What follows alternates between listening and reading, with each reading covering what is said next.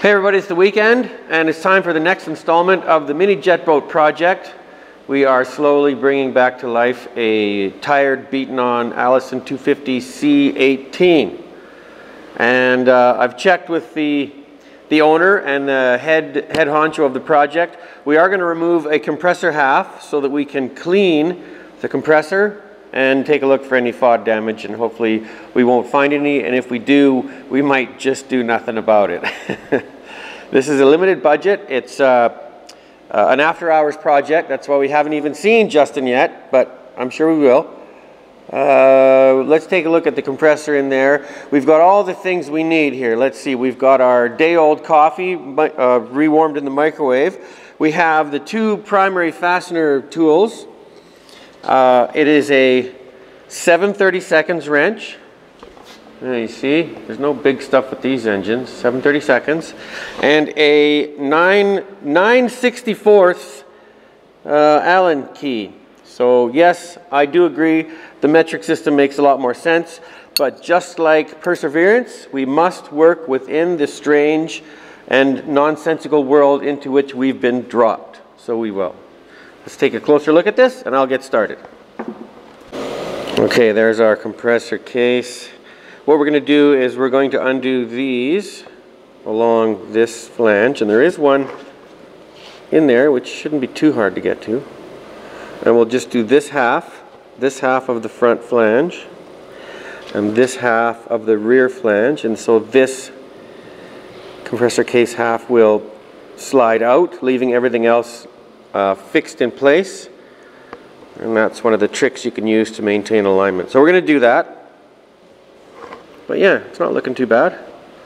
Um, progress is going a little slower because uh, there are a couple of engines on the go, namely that one.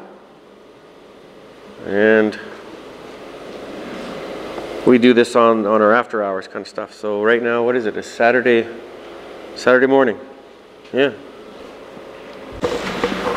Okay, so I'm going to undo those bolts, and then when it's time to take the case half off, we'll get the video camera going again. Otherwise, I may get this done today. It's I'm not going to be here for very long, so if I don't get finished, we'll just continue on the next time. It's all going to be seamless and beautifully coordinated like a Tarantino movie. Yeah, in our wildest dreams. Hang on.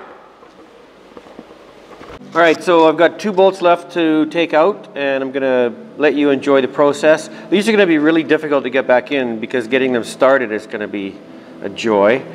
And what's the first thing that we look at here? We look at the fact that we've got an Allen key in a socket cap screw, I guess they call it. I'm just gonna call it a bolt, and a nut. So are we just gonna turn the Allen key? The answer is no, because we'll strip it and we'll wreck everything. We don't wanna wreck anything. So we have to turn the nut because these things are as tight as they can be for a 1032 threaded fastener. They're really on there. So they're going to be put back together with a torque wrench for sure. Anyway, this is the way we're doing it. Um, since this is back in there, it's going to be a joy to start them. Get, doing them up is going to be just like undoing them, but getting them started is always the fun part. Not going to worry too much about that. And we're going to clean these bolts too because they're a little grungy. We want to make them look like jewels. Really nice. And the one that the one that was in there was a dowel bolt. There's a couple of those, and those are the ones we'll do up first. They're uh, what is it? Alignment and positioning. They have very low clearance in the holes so that they they uh, ensure the accurate positioning of parts. Okay, this is the second last one. Got to get that nut without dropping it. Very good. Goes into the part of the box labeled rear. This is the rear, horizontal, and front. So are we looking at the last of the front bolts? No, we're not. Let's see. So I'm going to move the camera. There we go. You can see the last one. Now this one I haven't um, relieved, I suppose, of its torque. So it's, it's fully on there. 730 seconds, super tiny. So again, we want to just hold this in there. And we're just going to move the wrench. It's really on there. So it feels like about 60 inch pounds, which is probably maximum for these fasteners. Every little guy doing everything he can to be a part of the team. Okay, and then if this engine was put together with sealant, we're going to be in trouble because I really don't want to totally disassemble it. I want to half disassemble it so it maintains alignment, which saves us a great deal of time, tooling, and money. So let's see. So that's going to be front. Front is there. Oh yeah. The great moment. Ooh. I'm guessing we're going to find some deposits and some dirt. How are we going to get that out? We've got a we've got a conflict here. A conflict that may may oh oh there we go. There we go. Okay. Stator case looks good. There's no rubs. This is a resin filled thing. We'll clean that up, but there's no scrapey scrapies, no rubbies. Very nice. No damage to the stators. You see that? You can see that. That's beautiful. Isn't that beautiful? Look at that. Okay. So we're going to move in here and look at the rotor. The rotor. Okay, front row seat for you. I'm over here. I'm going to look at this. There's a bit of flakiness on a, looks like a painted finish on the stage one. But overall, the blades look really nice. I see no rubs. No cracks, no pits, no smashes or impacts. No rust. You can see that some have been blended before. It's been blended and balanced. Or am I just looking at, is this whole stage like that? Yes, I think it is. Sorry, my mistake. I'm not an expert on the 250. We're going to clean this up. It's got a bit of gunk on it, but no real corrosion. I see no damage. This is very good. This is very good news. We're going backwards. There's a seed from a weed seed.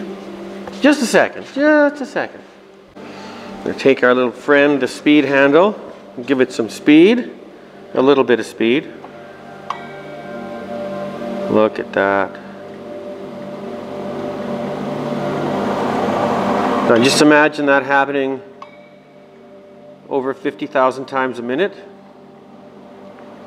And that's your compressor of your C18. So yeah, we'll clean this up.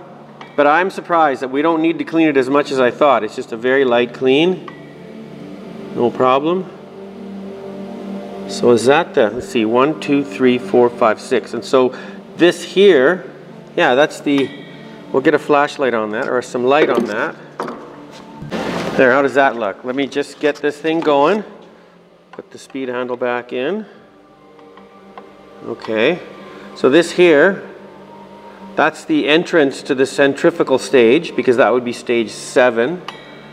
And it's it if it was an axial stage, it looks like it has a, a shroud, but those those uh, those are the leading edges of the vanes or whatever you call them. I guess you call them vanes. Yeah, that's the centrifugal stage. Wow, it goes all the way in there. Little tunnels. It's the dog. Always has to make noise when the video's on. Very cool. A very good seal there. So we're gonna clean everything up. And based on how this looks, based on how that looks, let's see, we'll back up a bit.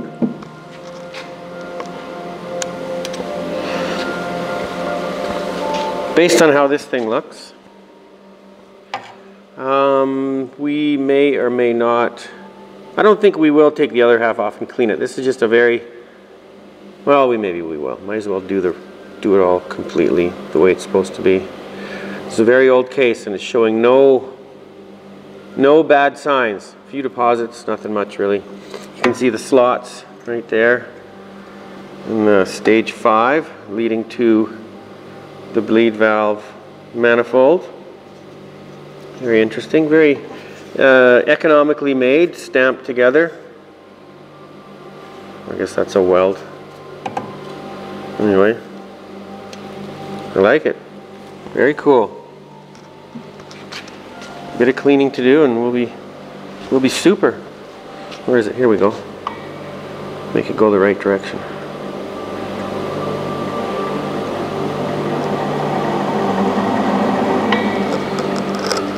So with this you can see there's lots of room. Let me move again. There's quite a bit of room between the blades and the stators. Actually more than enough room. Um, the whole thing could have been shorter I guess. Maybe they were expecting expecting it to have more. I know the the later state the later um, versions of this engine had fewer stages. I think the C20 has four, and then after that, with starting with the C30, I believe, maybe the C47, these are all eliminated, and there's only an entrance to the centrifugal stage because a lot of aerodynamic engineering work was done on that, and it was improved to the point where it it achieves its compression without an axial booster which really reduces the, both the cost and the parts count. Oh yeah, that's really nice. I like it. So that took a couple, oh no, it took uh, an hour and a quarter, so not too bad. But the reason it took longer than 15 or 5 minutes is because it was only 30 or so 7 or 1032 bolts. But uh, how many times did the wrench skip? Zero. How many times did the Allen key skip? Zero. How many bolts did we break? Zero. You just got to be careful. And I was going to show you one thing. I tried using this. There's, there's one part where there was a bolt. There is. There's a bolt right there. There. And this bulge is in the way, so I couldn't get my socket on there. Couldn't get my wrench on there. I couldn't get my so-called aviation wrench on there. It was too thick around the edges. So I thought I would try an ignition wrench, 730 seconds. And this one, it was, the nut was so tight that the, the wrench was spreading and it, you could feel it kind of giving, but I didn't skip it because I could feel that and I stopped. And then I realized that I was using the wrong socket. I had a 12 point socket, which is here. I was using a 12 point socket. It's a little bit fatter than the wall thickness. And then I found a six inch socket, which doesn't look a whole lot different, or not a six inch, a six point socket. Doesn't look a whole, whole lot different, but that difference in wall thickness was all the difference we needed to get it to fit. And thank, thank goodness the nuts are six point. There we go. So, uh, super careful. It's like working on a Swiss watch, or any watch really. Doesn't have to be Swiss. Um, but yeah, we're to do some cleaning. So Justin's got to the point now where he's working on the fuel uh, system regulators. There's an N, N1 and an N2 governor, and they're hydro pneumatic. They're air, well actually mechanical, air, and fuel units. And we actually don't have the manuals on that. So any of you guys, and there's a few of you guys out there, guys and girls, that are either current or ex Allison 250 technicians, mechanics, what have you. If anybody's got the, the, the book or books, or especially a PDF on the manuals and how to set up the fuel system of a C18, I will trade something really cool for that, so I want that. If you've got it for the C20, uh, that's probably still going to be useful, so I'll also trade for that. So something cool, definitely. We'll negotiate, and uh, I need that. So you guys really could use your help. We're going to go begging to the to some of the schools around here, but I know there's people out there that have worked in this engine because I think they made like 35,000 of them, a lot a lot of these engines out there. And the C-18s were used in mili military helicopters and they were used in civilian helicopters. There were many, many, many of them out there. They're no longer current, but the books have got to still be out there. If you've got one, uh, I really want it. I'll trade you something super cool. Okay?